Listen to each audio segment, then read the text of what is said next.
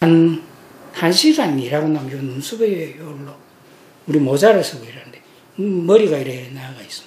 요런 우리는 이제 청성면이라고 새파란 건데 새파란 요로 딱 마스크를 요로 요로 요로 요로 성명 문제를 앉았어.